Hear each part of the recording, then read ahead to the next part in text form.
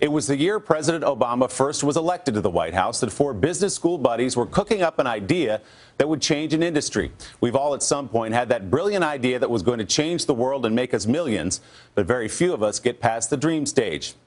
The guys who started the game changing eyewear company, Warby Parker, started with a simple question Why do eyeglasses cost so much? The answer took them from a classroom study group to a billion dollar company.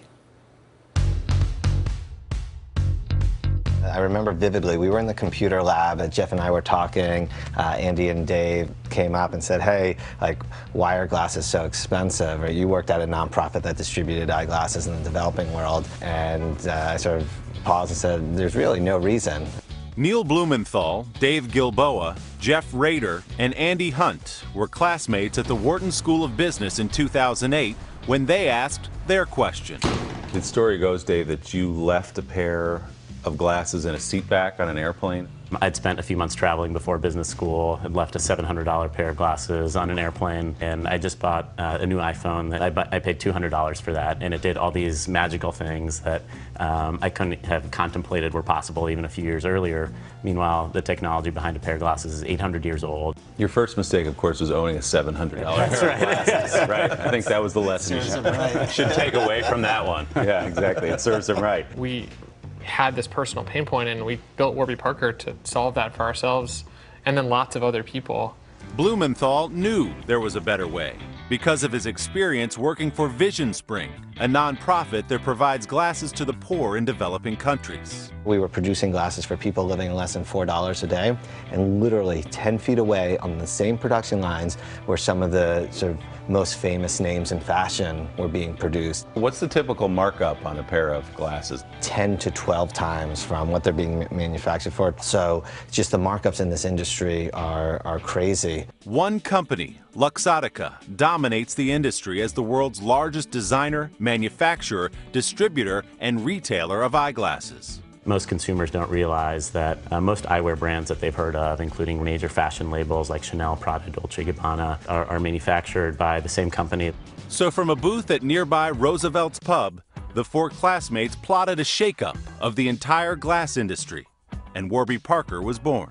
What were some of the early reactions you guys got to the idea? I think lots of people were like, oh, cool project, guys.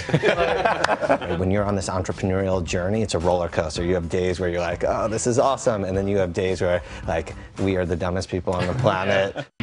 Introducing Warby Parker. Just $95 per pair.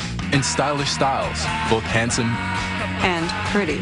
They chose the name Warby Parker by combining two characters in Jack Kerouac's novel, The Dharma Bums. And for every pair of the $95 glasses a customer buys from Warby Parker, another pair is donated to someone in need. Do you guys think you could make more money if you weren't giving away half your glasses, or is it because you give away half your glasses that the business is doing well? We think we certainly maximize short-term profits, but we think we'd be making a, a mistake. Uh, we really view it as a, a great long-term investment. Before Warby Parker had 20 sleek retail stores, with 20 more planned this year, the guys sold their glasses exclusively online, working out of Neil's Philadelphia apartment. Feedback that we kept receiving from people is, how am I going to buy glasses online? I want to touch and feel them. I want to try them on. What if we just sent people frames to try on at home? That gets over this fit issue. They'll touch the frames, they'll look in the mirror, and they'll be like, this is great. So this idea of a home try-on really came from a moment of, of self-doubt, and that gave us the confidence to keep moving forward. Everything changed one day in February of 2010 when GQ posted an article calling Warby Parker the Netflix of eyewear. As soon as the GQ article hits, I remember all of us are, are over in Neil's apartment and we have a, a, mobile app that's showing us the orders as they come in. It just kept going faster and faster and faster, and you know there's a limited supply. We had uh, a wait list of 20,000 customers. Wow. Um, we were out of inventory for about nine months, um, and it's a good problem to have. But we were all terrified that. Um, we had all these early adopters that were really excited about our brand, and we were leaving them with a disappointing early experience. So they reached out to those customers personally every last one of them. We need to take Jeff off the phones because he would just give everybody free pair of glasses. Make happy. Willie.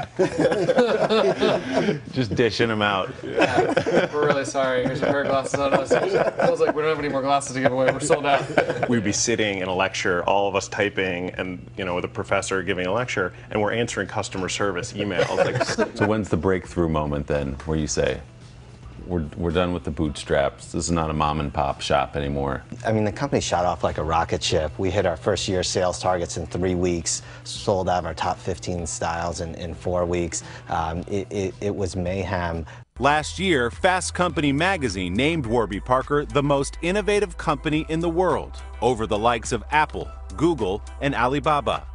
And just five years after it was born, Warby was valued at well over $1 billion. The bigger we get and each one of those milestones that we hit, we realize that there's um, such a big opportunity in front of us, and we're just motivated to continue to grow and, and have more impact over time.